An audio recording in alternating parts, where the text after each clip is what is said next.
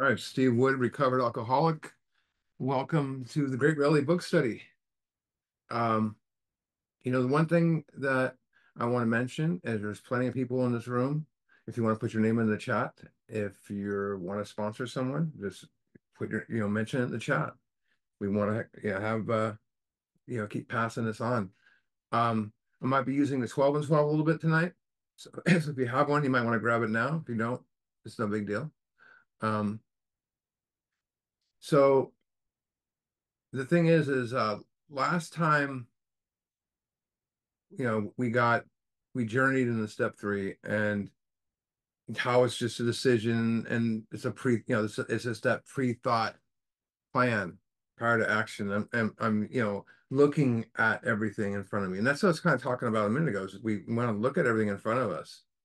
And when I'm making a decision, you know, say I'm making a decision to, to get a new, start a new career, um, or accept a new job. I haven't accepted the new job until I take the action to do so. But so what would a decision to get a new job look like?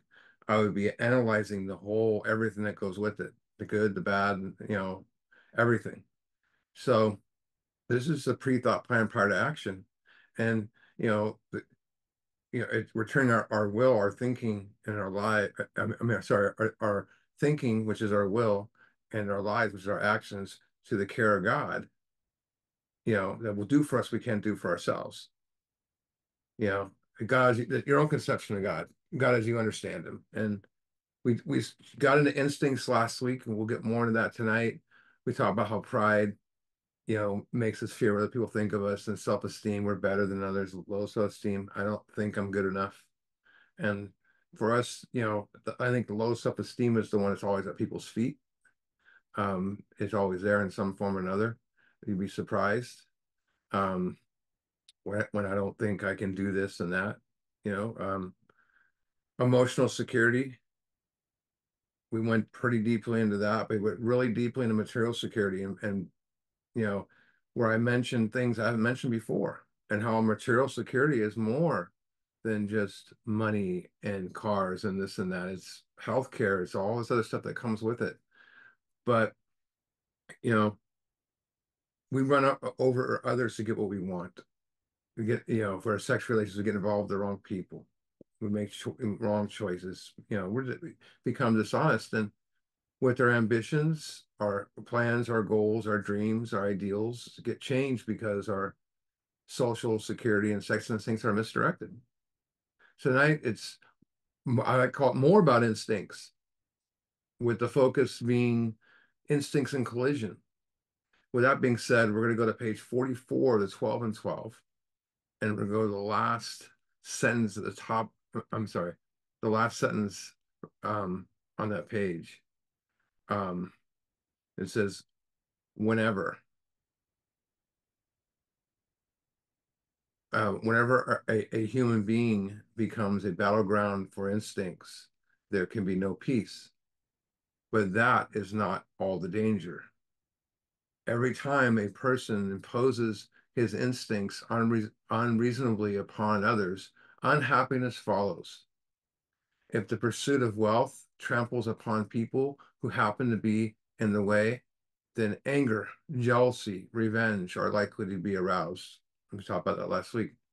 If sex runs riot, there's a similar uproar. Demands made upon other people for too much attention, protection, and love can only invite do, um, domination or revulsion in the, in, in the protectors themselves. Two emotions quite as unhealthy as the demands we evoke them. When an individual's desire for prestige becomes uncontrollable, whether it's in the sewing circle or at the international conference table, other people suffer and often revolt. This collision of instincts can produce anything from a cold snub to a blazing rev revolution. And these revulsion, I would say, and in these ways, we are set in conflict not only with ourselves, but other people who have instincts too. That's the thing is we sit there and we know these instincts and we're like, oh yeah, I know what my instincts are, but I hate that guy And that's like where we become hypocritical. Because if I'm truly understanding these instincts and living this life, I'm going to develop something called compassion.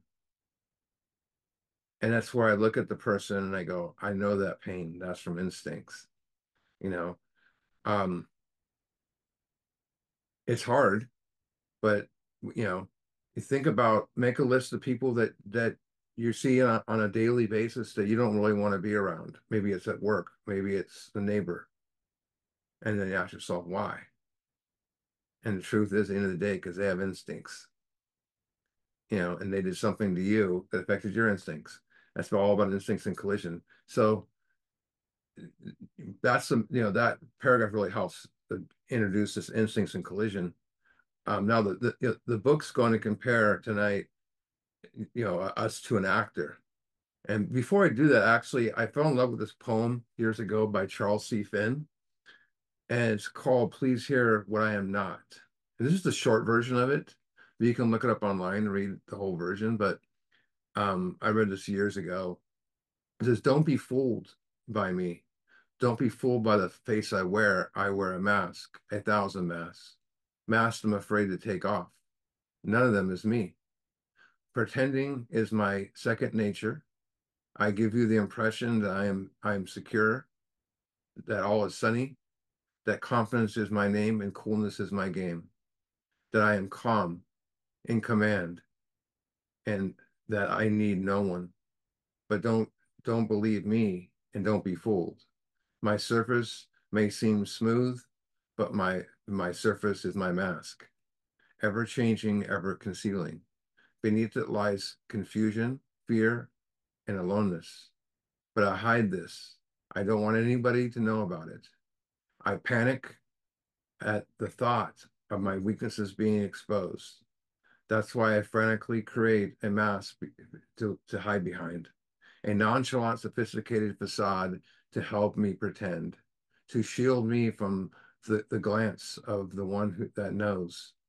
So I play a game, a desperate pretending game, a facade of a parade of masks. My short, my life is only a front.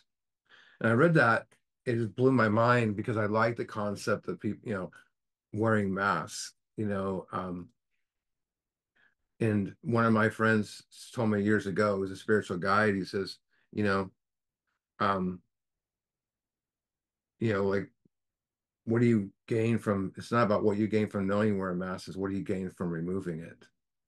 You know, it's pretty deep. So we're on page sixty of the big book, and we read this sentence last week to get ourselves into instincts. We're gonna look at it again real quick. It says the first requirement is to be convinced that any lifelong self-work can hardly be a success. That's not a small requirement because we're driven by self-will. Um, self-will, again, is our unconscious devotion to our social security and sex sexual needs, our sec our our misdirected instincts, which we talked about last week, how those can be used properly you know, the book also mentions, calls them simply self or exactness or wrongs or defects of character.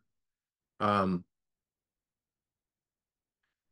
the let's look at what it says next. It says on th that basis now, and what's the basis? Living on misdirected instincts, living on pride, living on self, high self-esteem, especially. See, some of these instincts you don't have every second because if I have a mind, if, if I have a if I have a low self-esteem personality, then I'm always gonna feel like I'm not good enough, and that's gonna affect all the other instincts when when I come into contact with people, especially in the social, right?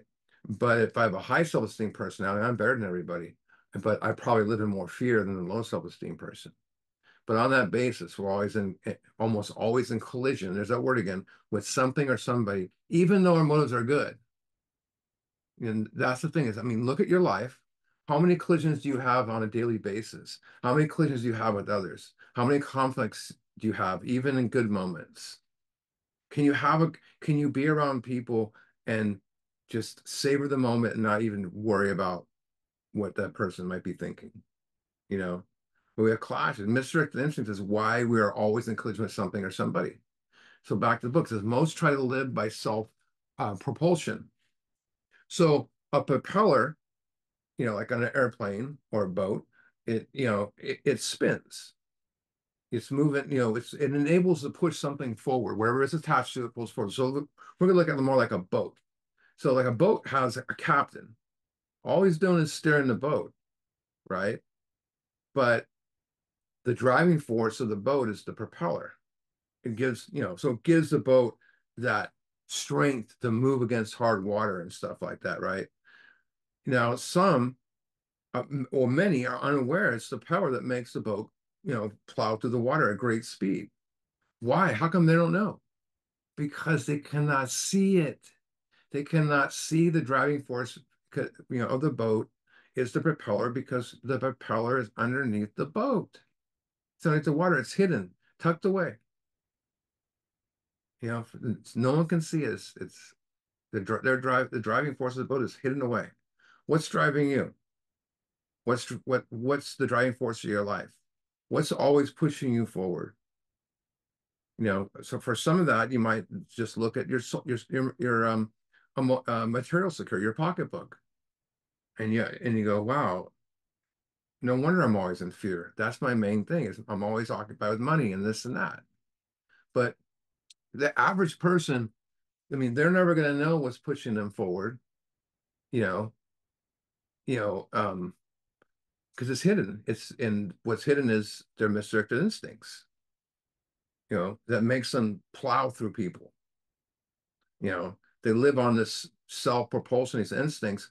They they don't even they don't even have a they're not, well completely unaware. If I'm unaware of something, it's you know it's continuing to happen, right? So living on self-propulsion instincts I fail to see its attempt to create happiness. You know, I, it, I don't see it. I, I, I, it, I, I don't see, you know, any attempt to create happiness. In fact, the, it often creates the exact opposite chaos rather than peace, anger rather than calmness, resentment rather than compassion, you know, fear rather than courage. I'm more occupied with that. Harms rather than love you see why people, you know, say their best thinking got them here. You know, you hear that a lot. The social instincts, I said last week, is our interactions with others and ourselves, society, right? Our network. So, what's the goal of social instincts if used correctly? It's called companionship, right? That's the sense of fellowship and togetherness. You could also call it community, right? With others. And it's one of the reasons why people get married or seek like-minded friends. It's a sense of, of connection. So it's connection with other people. So if, if social instincts are misused, then the opposite of companionship occurs. We think we're better than others. We worry what people think of us. We, we want to be recognized at all times. I'm better than other people. Basically, we resent others and push people, push them away from us. You know, how many times you know, many times we harm people in that, that realm. How many times has that happened to you? We're living on self-propulsion. Let's see what it says. Now I get some cool stuff here. Each person is like an actor who wants to run the whole show. None of us want to run the whole show, right? Is is forever trying to arrange the light, the ballet, the, the ballet, the, the scenery, and the rest of the players in his own way. Interesting. So what does an actor do? What is what is an actor? They play a part assigned to them. They play a character, right? And they prepare for that role of a character by following a script. So there's a different name for the person that runs the whole show, that arranges the lights, the ballet scenery. That person is called the director. He's the one in control. He's the one that's in charge. The problem is our good actor here, he believes he's also the director, even though there's a director off to the side. I mean, he believes he's in control of this thing. Now, if there's a director and an actor, if our director, if our actor thinks he's a director, do you think he might butt heads with the with the real director or other people around it? Instincts in collision? You know, here's how much con control this guy wants, right? If only his arrangements would stay put, if only people would do as he wished, the show would be great. So this guy whoever it is believes, you know, they live in this delusion that if everything stays perfect, if people just do everything he wants, say what he wants to hear, pat him on the back, everything's going to be great. You know, but you know, I don't want to break the news to this actor guy, but it doesn't work that way. You know, from you know, for you know, the thing about it is, think about this for a second. For many, happiness is determined by what others think, what what we think of think of others, you know, should do, what we think others should do, and and of course, you know, do it right. You know, and if that fails, if people fail to do as we want, what happens? We get resentful. What if I'm already driven by high self-esteem? What if I'm already think I'm better than others? And and my happiness is determined on this these people doing what I want. Talk about an explosion, right? So let's look more at our friend's insane logic. Everybody, including himself, will be pleased, right? Life will be wonderful. So if he's happy, everybody will be happy, right? Do you ever believe that? You know, I know guys that said so what to their wives and they're married. You know, you know, I, I didn't even see I did that because I was completely unaware. Becoming aware, you know, of that is the beginning of an awakening. You know, um, and trying, you know, notice he says the word trying. What's another word for trying? Attempting. so in attempting to make these arrangements, our actor may be sometimes quite virtuous. So he's attempting, he's pushing it forward. He's going to push his agenda. So, he, he, you know, is attempting to make, to push his agenda, we'll say our actor may be sometimes quite virtuous. He may be kind, considerate, patient, generous, modest, even self-sacrificing. He puts on a good front, charming person, right? But look at this. On the other hand, he may be mean, egotistical, selfish, and dishonest. But with most humans, he's likely to have varied traits. Another word for trait is character, like the actor plays a character, right? Plays diff different characters, a character actor. How many characters did you did you play? Like I said at the beginning, how many masks did you wear? You know, how many like uh Marcus says, how many stage characters do you have? So here's here's a character I played, you know, or the mask I wore. When someone met me, I went out of my way to automatically be like, what are you doing? Right? I would be kind, modest, sacrificing. I would talk to them like they're a little child. Right? But that was part of my game. That was my hustle. But as soon as I got to know you, you would see that I'm mean, egotistical, self, selfish, and dishonest. What drove me to be kind, considerate, modest, self-sacrificing? My social and security instincts. I mean, I, I wasn't a nice person. I wanted something from, from you. I would see what I wanted right away. I wanted, so my thing was out of fear, I had to have you trust me. And when I didn't get, get what I wanted, you would see the real me. You would see that I was angry, mean, egotistical, selfish, and dishonest. But I was not aware of that because I was blinded by these misdirected instincts. I was, you know, I was aware that I was kind, considerate, and self-sacrificing because that was the, the role I played, but completely unaware that was mean, egotistical, selfish, and dishonest. Let's see what let's see what happens. What usually happens, is the show doesn't come off very well. He begins to think life doesn't treat him right. So, you know, we say, why does everyone else get get all the breaks? That's what I used to say. Why does everyone else get all the breaks? Everything happens, poor me, low self-esteem. So the end result of that, we become the victim. You know, we are the innocent victims of wrongdoings of others. So we blame, it's in our nature to blame other people. Just, I was told years ago, and I got kind of offended when someone said it too. They said there's no recovering being a victim. You can't be a victim and be in recovery. You know, I mean, be recovered. And I went, whoa. And now it makes complete sense. Let's see how our friend does with this victim mindset. He decides to exert himself more because of his instincts. He becomes, on the next occasion, still more demanding or gracious, as the case may be. Still, the play does not suit him. Admitting he may be somewhat at fault, just a little at fault, he is sure that other people are more to blame. Hmm. He becomes angry, indignant, self-pity. You know, you get to that level, you know, how could they do this to me? Angry at them. And then self-pity at angry ourselves. We get angry at so many people, there's no one left to resent. Usually when we're all alone, because we pushed everyone else away. You know, that's just what we do.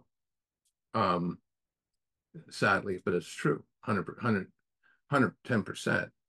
Um, so now he's, you know, this actor guy is, he's, you know, he's resentful, meaning his instincts are hurt or they're threatened. So he needs to satisfy those instincts. And we satisfy the instincts by harming other people. Or my pride to feel better, or my self-esteem to feel better. Because what is our basic trouble? He's not really a self-seeker, even when trying to be kind. So self-seeking, so if self is tending mostly to my own needs, with low or no thought of others, self-seeking is pursuing my needs. Another word for that is harm. So I'm satisfying those, making my instincts feel better. My grandpa used to say, purring the kitten, he would say. You know, we just want to feel better. You know, I was, you know, it was so driven by instincts that I harmed people, even, you know, when I tried to be kind. Think about that, what he's saying there. He goes, he says, is he not really a so is he not really harming people even when trying to be kind is what they're saying there is he not back to the book is, is he not a, a victim there's that word again of the delusion that he can wrest satisfaction happiness out of this world if he only manages well. So we have this delusion, this insanity. If we only manage well, we'll have happiness. You know, we're always looking for happiness where outside myself. I'm gonna have money, I gotta have this, I gotta have that. And we follow the pecking order. And my instincts are misdirected and my material's misdirected. I'm always gonna be looking for out here. Security's within me but we believe you know we have happiness if we get our life back to you know together out here and when we're that's a condition of being driven by instincts we're always seeking out here to satisfy that so the pursuit to to fulfill and satisfy our instincts is that's what we do. We chase it outside ourselves. Personal relations pocketbook sex whatever it is we can go on. Where's god? Great reality within us. And the difference between instincts and God is God gives us harmony and satisfaction internally. So we can so we can bring that from from in here to you out here, not me trying to get this out here and bring it into me, you know, rather than trying to, you know, find harmonies, you know, in the world. And you know, one is the great reality and one is the false reality that we, you know, this is the great thing about the steps. We can get caught up in that false reality and go back and do more inventory. Always. That's the beauty of this. They always recreate. See what else it says. Is it not evident to the rest of the of the players that, that these are the things he wants? You know, like he's saying, you know, don't they know what I want? He's he's mad. Don't you know who I am? You know, because he's not getting what he wants. And look at this and do not his axes make each of them wish to retaliate, snatching all they can get out of the show. So he resents another, takes action and harms him. They come back and beat him up or retaliate, or harm him back, and now he's resenting them for something he started. That's instincts and collision. Let's go to page 80 of the 12 and 12. It's going to have a really perfect example of instincts and collision. So if you hear pounding in my house, it's not so I'm trapped in my basement. it's My son getting mad at his video game.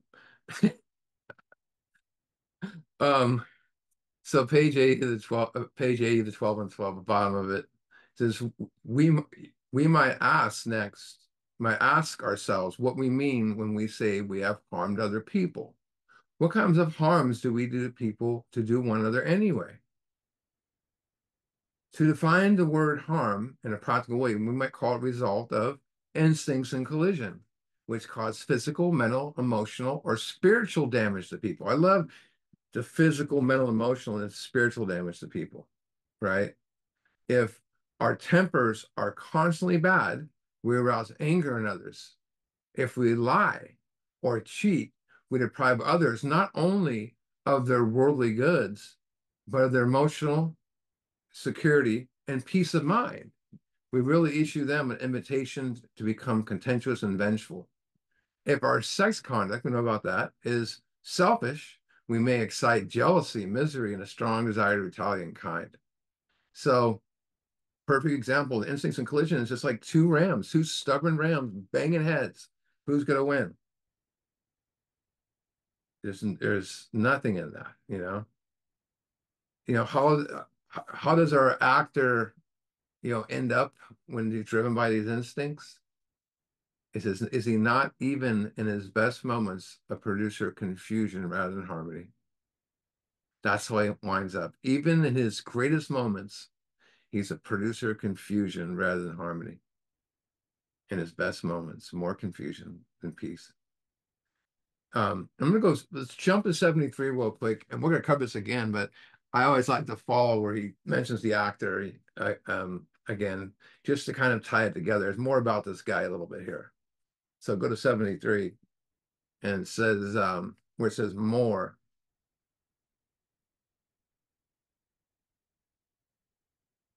More than than most people, the alcoholic leads a double life. He's very much the actor. I like what he calls it a, a double life. You know, some of us had more than a double life.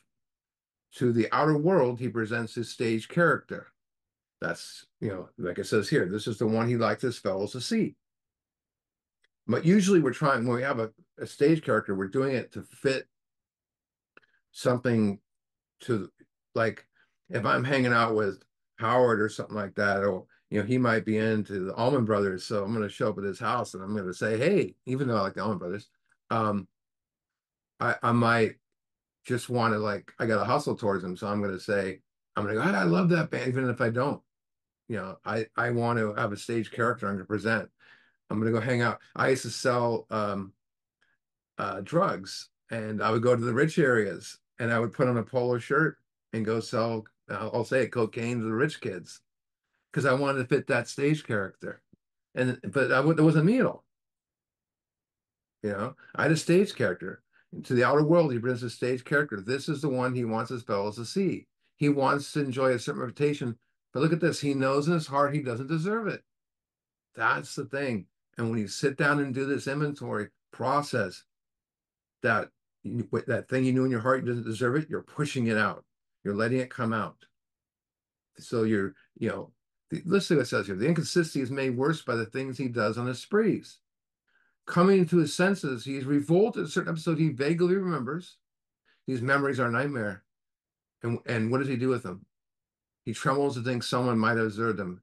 Look at look at this. As as fast as he can. What, what does he do with it? He shoves these memories far inside himself. He hopes they'll never see the light of day. He is under constant fear and tension that makes for more drinking. Like again, where's God within us? And we're shoving all these ne negative, ne negative emotions. It's like we have this beautiful inner temple that's been there our whole lives and we've been storing all our bad stuff, all our bad memories and frustrations and resentments in that temple. You know, um, that's why in our best moments we're producing confusion rather than harmony, because harmony is blocked. It's it's blocked. It's a false sense of it. Let's go back to 61, a little bit more about our actor where it says our actor is self-centered. We'll get into that word in a minute. Egocentric. There's the ego involved now. I think I'm separated from everybody else. I'm separated from you and I'm better than you. as people like to call it nowadays. He is like the retired businessman who lolls in the Florida sunshine in in the um, in, in the winter complaining over the sad state of the nation. The minister who sighs over the sins of the 20th century, politicians and reformers who were sure all would be utopia. If the rest of the world would only behave, we hear that today, right? The outlaw safecracker who thinks that Sae has wronged him. And the alcoholic who has lost all and is locked up. Look at this right here. Look at this. Look at this question. Whatever our prostrations, right? You know, another word for, you know, you could say disclosures or whatever, but whatever our prostrations, are not most of us concerned with ourselves, our resentment, or our self pity?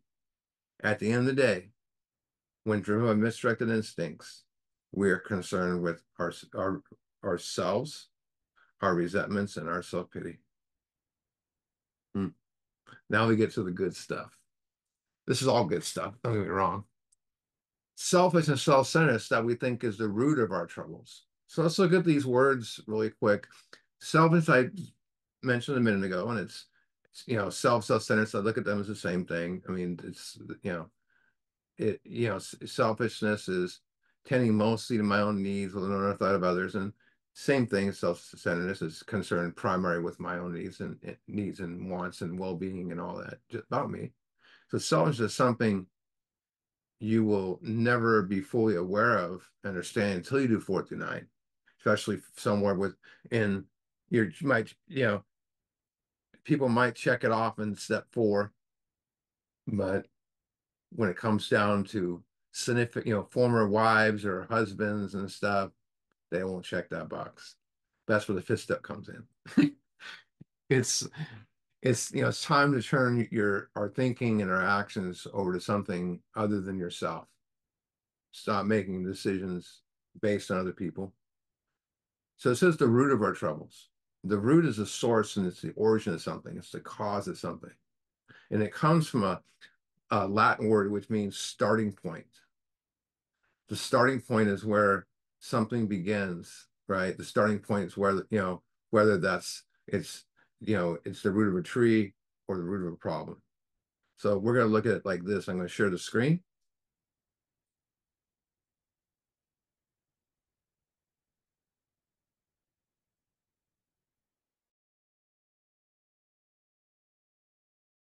Great picture. I need to replace that picture. We see a nice tree. You know, that's only what we see on the surface, but it's what's under the tree that tells its story, right? Right. And you first thing you noticed is the roots are what? Way bigger than the tree. Now let's look at it from an entirely different perspective, right? A tree, you know, is what everyone sees on the surface, right? And so we walk into AA and we're alcoholics, right? And people look at us and they say alcoholic or addict, right? But the truth is, alcoholic is just is alcohol is just a symptom.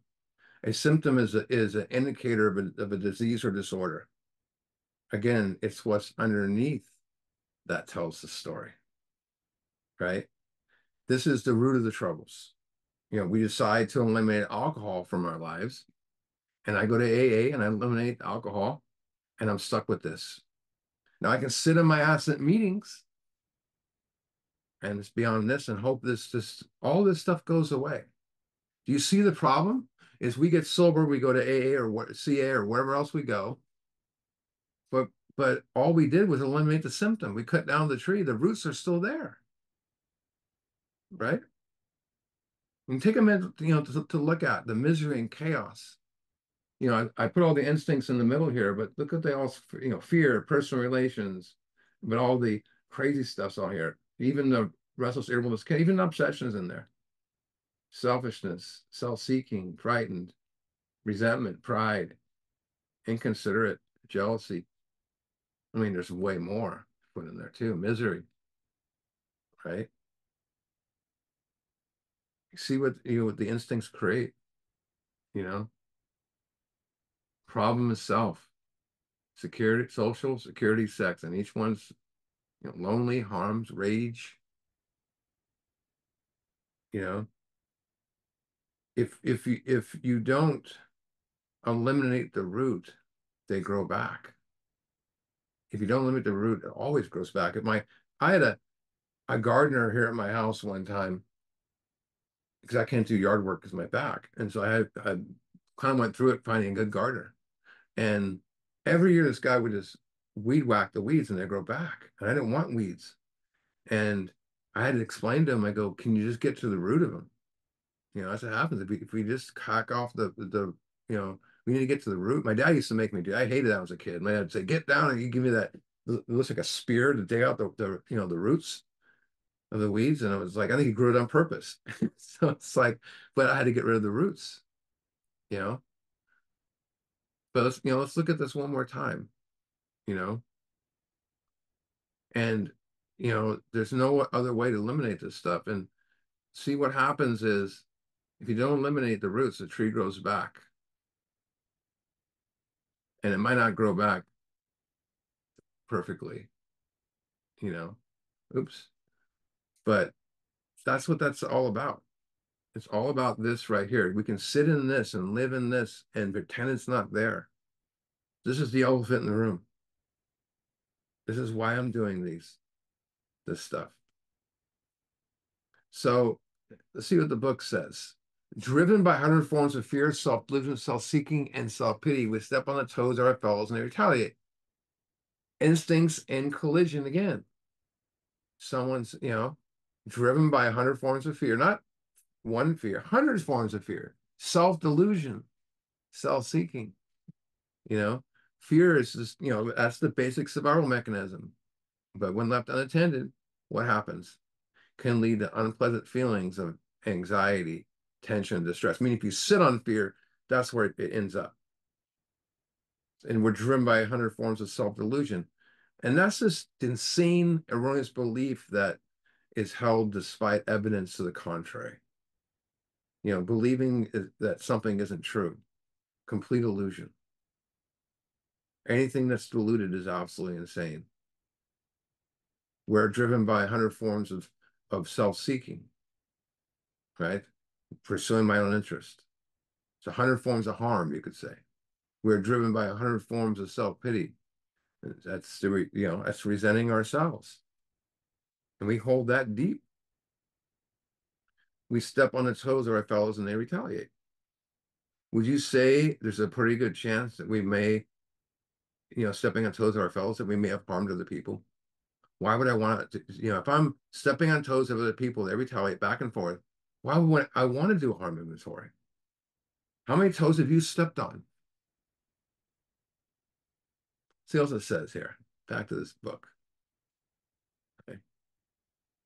Sometimes they hurt us, but seemingly without provocation, we but we invariably found that sometime in the past we made decisions based on self, which is the instincts, pride. We made decisions based on pride. We made decisions based on self-esteem, on pocketbook, sex, which later places the position to be hurt. Think about that. How many times has that happened? So our troubles we basically, basically think are of our own making. Believe it or not, that's hope right there. You know, because I was convinced my troubles were everyone else is making, and I didn't want to do the steps because of that reason. I wanted, you know, I wanted to be, you know, proved like Fred says, prove, you know, I'm going to prove to you where you guys have been wrong, but from the steps perspective, but it's, it's hope when I finally realized my problem with my own making. They arise out of ourselves, and the alcoholics, an extreme case of self-will run riot, even those that think so. Instincts run. What what happens if there's a riot? You know, mayhem, destruction, violence, damage, conflict. We can keep going. When something runs riot, it means it's out of control. Think of like the running of the bulls, right? It's out of control. Self-will run riot is instincts out of control. And don't you think, you know, you know, it's because you're not aware of it, you know, we're blinded by it. That's why we have this beautiful thing called inventory to do. There's a reason for that. See what it says. Above everything, we alcoholics must rid ourselves of the selfishness. Why do we need to rid myself of selfishness? Well, they tell us we must, or it kills us. Wait a minute. I mean, I thought booze killed us. That's what they tell me to come in there. You know, we saw from the root, boot alcohol does not kill us. At the end of the day, it's selfishness. You people all the time tell newcomers this is a selfish program. And then tell the newcomers, you know, they then we read in the meeting, you know, some guy will say selfishness is, is, is a selfish program. Then all of a sudden we read the meeting, um, selfishness is the root of our troubles. And the newcomer is sitting there going, what the heck? You know, we, we must be rid of it. And the, the selfish program, you know, it, it's if practice, you know, it's not a selfish program. This uh, if practice is a way of life, this program brings change to the very core of our being. We'll we'll move from being selfish, self-centered to God-centered, or as people other people call other-centered, right? So selfish to selfless, you know, fear to peace of mind. Get rid of that self-delusion and have um wholeness, complete, you know, soundness of mind. Go from calm, from you know, from harming others, self-seeking to calmness, to from resenting yourself and self-pity to to compassion. So we discovered, you know, the freedom to love God, you know, and one another. And most important, we find the freedom to love ourselves. You know, and that's a complete spiritual basis for, for living right there. We can go we, we we go from caring only about ourselves to love and service of others. Our day begins how may i serve thee? You know what service can i do? It's just eh, amazing. You know my instincts out of control. I'm selfish i chase after money sex friends because of that selfishness when we attempt to achieve happiness on our own outside of us, you know, we never get it. When we seek happiness away, you know, we, happiness with God, happiness, you know, is there. If so, what happens if I rid myself of selfishness and put God first? We find happiness. So never under, under, underestimate that. You know, it says God makes that possible. And there often seems to be no way of completely getting rid of self instincts without his aid, getting rid of pride without his aid. You know, there's that word again completely, entirely, right? And pay attention to that in this book, right? We, you know, we heard that before in entire psychic, not just a psychic change, entire psychic change, complete psychic change rigorous honesty, complete honesty, not just honesty. Complete also means what? Wholeness. Only the steps can bring us to there. To the deepness we need to go to as alcoholics. So what they're saying, there is no way of complete honesty without getting rid of self. And we need God to do that without his aid. So we might be able to get rid of some self on our own, or or or or am I just fulfilling my instincts? Right? I make enough money, but it only lasts a little bit. But you know, to completely get rid of self, we need God. And the truth is this: I mean, all the joy you ever experience is when you are not relying on self. All the pain you will experience is when you're trying to rely on self. So if you if you get completely rid of self, what state will you be in? Joy, complete state of joy. I mean, what are the steps about? Are they a, method to, you know, keep us sober? A method to remove alcohol? I mean, to, to be rid of alcoholism? No, that's just a byproduct of it. They are a method to completely be rid of self we must die of self. And it's by dying we we are born to eternal life. Look, I'll say, look, look, it says here. Many of us had made moral philosophical convictions galore. You can make a list of that, right? But we cannot live up to them, even though we would have liked to. Neither could reduce ourselves, reduce our self-centeredness by much or by wishing or trying our own power. We had to have God's help. It's a great story that I tell us every time we're here at this spot. Is there's this um there's this old lion. He's kind of like the you know the Lion King lion, the old one. And he's cruising up around the around the countryside, looking for some food. And he sees a bunch of sheep, and he you know he's past his prime. This lion, he ain't what he used to be.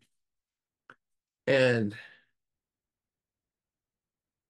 he sees the sheep, so he goes, I'm going to sneak up on him. And he trips over an old tree stump and scares all the sheep away. They all run away except for one, but it's a lion. And the old lion goes, What are you sitting there hanging out with all these sheep? And he goes, Mr. Lion. And the other lion, the, the, the sheep lion goes, Bah. And, goes, and the old lion goes, What? And the sheep lion goes, Bah. And the old lion's like putting his head in his head and he goes, You mean to tell me you think you're he goes, he goes, You're a sheep? And the lion just, just goes, Bah. And he goes, Follow me. And he takes the sheep lion down into a crystal clear lake. And the old lion looks into the water and he asks the sheep lion, What do you see? And he goes, I see you. He goes, What am I? He goes, I am a lion. He goes, You are a lion. He goes, Now you look into the water. And the sheep lion looks into the water and he jumps back. And he goes, What do you see? He goes, I saw you. And he goes, Look closely. And he stares at his reflection in the lake his posture changes. He makes this roar out, and says, I'm the king of the beast, and he runs off. Now, physically, did anything about that lion change? But inwardly, everything changed in a matter of seconds. And by everything changing within him, changed the very core of his being and became aware of what he truly was. And that's what happens to us physically we don't change a whole lot inside you know inwardly reorganized look what it says here this is the how and why but first of all we had to quit playing god it doesn't work so now we're getting the high self-esteem thing playing god is this you know behaving this selfish egotistical ego manner of imposing my what my superiority on you uh, by controlling you and and not just controlling others but situations have you done that? You know, trying to arrange things to suit yourself, controlling things. So says next, we decided here after this drama of life, God was going to be director. So now we got God as a director. You know, a director, you know, his duty is again to manage things. You know, who's been your director? Let's go to page 68 really quick.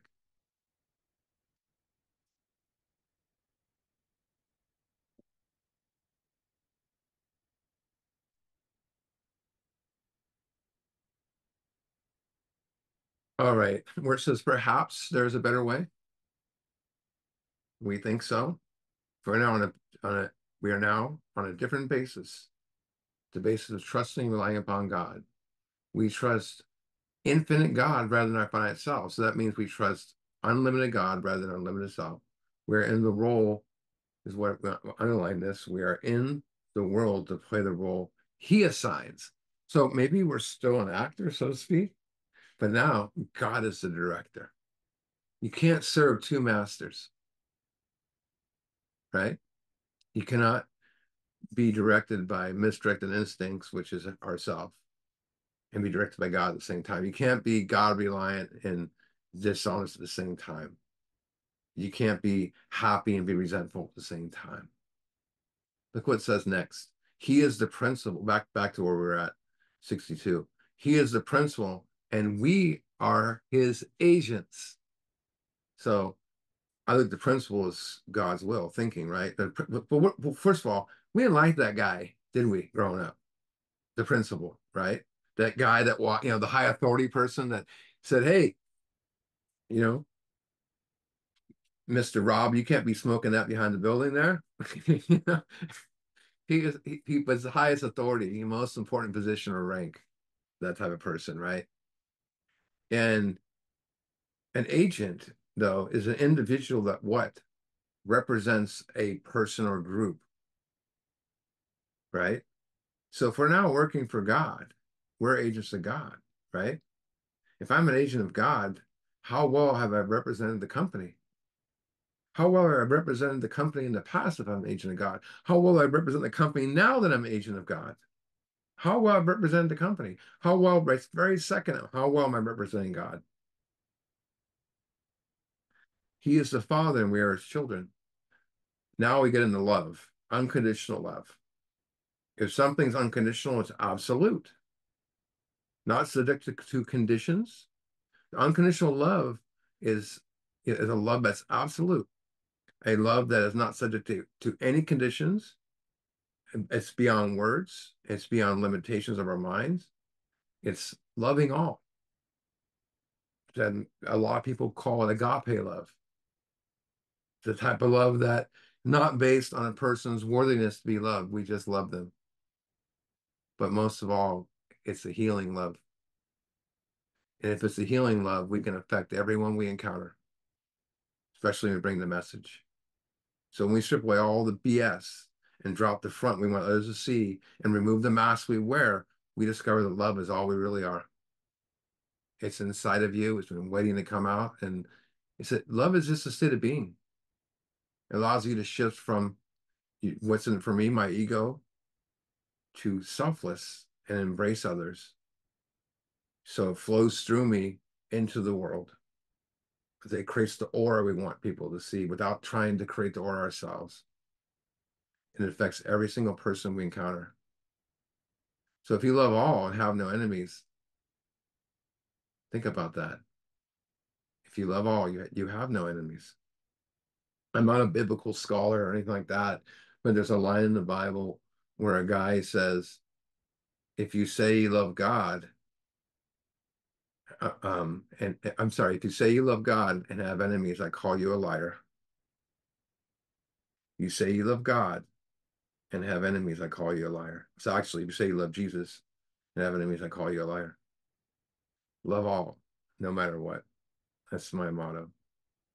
Most good ideas are simple, and this concept was the keystone of a new and triumphant arch, which we pass. Look at this word, freedom. This book, we're building an, a spiritual structure all the way through it. Bill made numerous references to the structure. I'm going to put up the slide again, of course. Oops, let me get to where I want to be.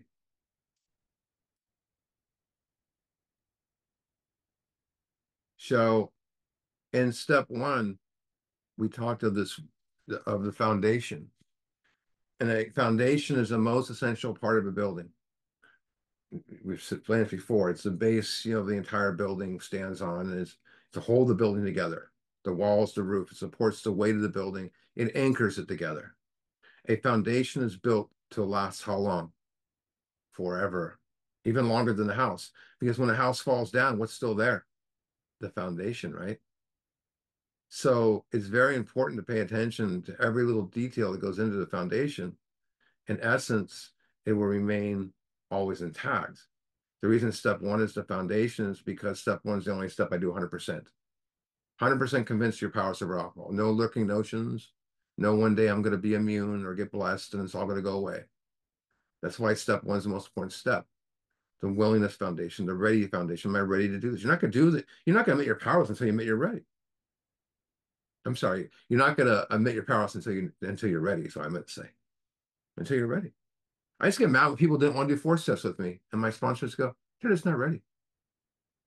Let's look at so we get the cornerstone. Step two, the first stone laid at the corner of the building, where two walls begin, and you just going to tie this foundation together. Start where everything's gonna start depending on it.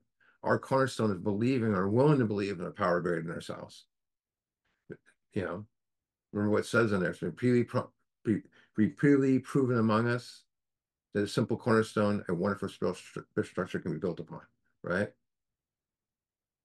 Now it tells us the spiritual structure what it's called.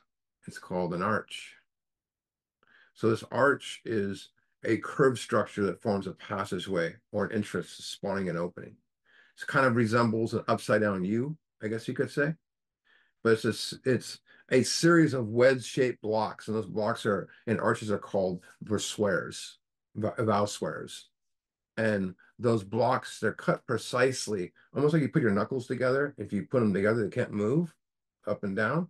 They would cut them that way so they fit like a puzzle together.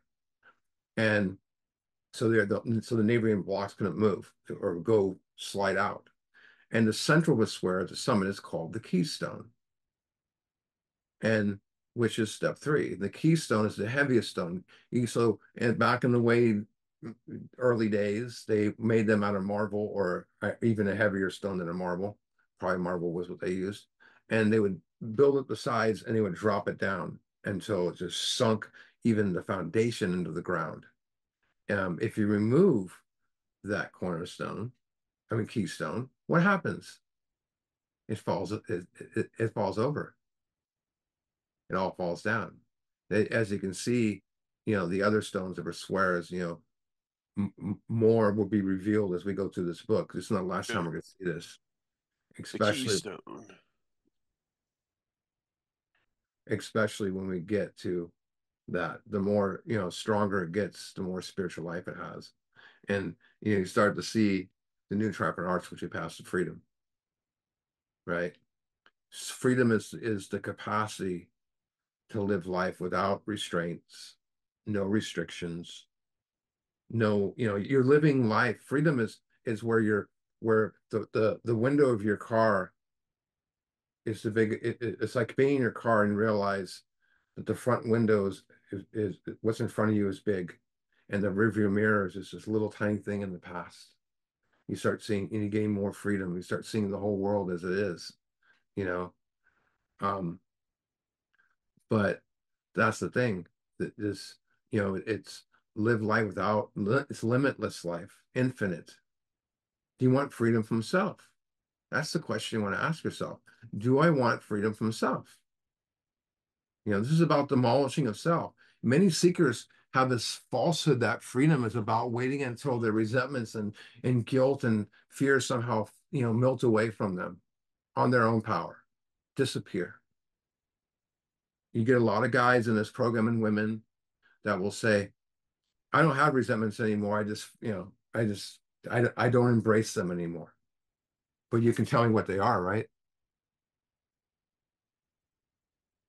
You know, is at that point where we realize, you know, we must take action to be free. We realize that, that it's, this is not a game. We must eliminate the old ideas that have driven us by seeking the power that is within us. And what happens? the reward is restored to sanity. So I must tear down these walls that I built block by block, and those those walls do not come down without effort. So I must tear down each and examine each piece of, of my life, each you know brick by brick, each little piece, so I can know what those are those bricks are built out of in the walls. Perhaps maybe it's those bricks are the very ones we build the arch with. Who knows? But self-examination is the key. Self-inventory is the key. So we can be free our minds from what blocks us. So we can, you know, so we can let things go and make and, and go and, and make right for the past. And what happens is you will discover something called the world of the spirit. And you'll discover something in the world of the spirit. There is no walls. I, um, my old pal uh, Sandy Beach used to say, "You can anyone can enter the world of the spirit. You just have to leave your crap at the door. You can't take your crap into you at the world of the spirit." I love that. Um, there's a, a Greek motto I have on my wall that that I love: "Know thyself." You know, make that the goal of your life so you can find the freedom you're looking for you prayed for. You know, there's two roads to freedom. And, and it sums up the fellowship in a whole so much. The first one is an easier road. What's the reward of something being easier? It's easier. The second road is a harder, rougher road where the result, the reward is freedom.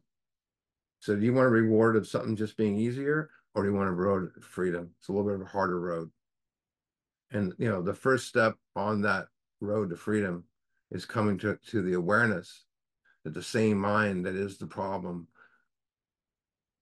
will never solve it.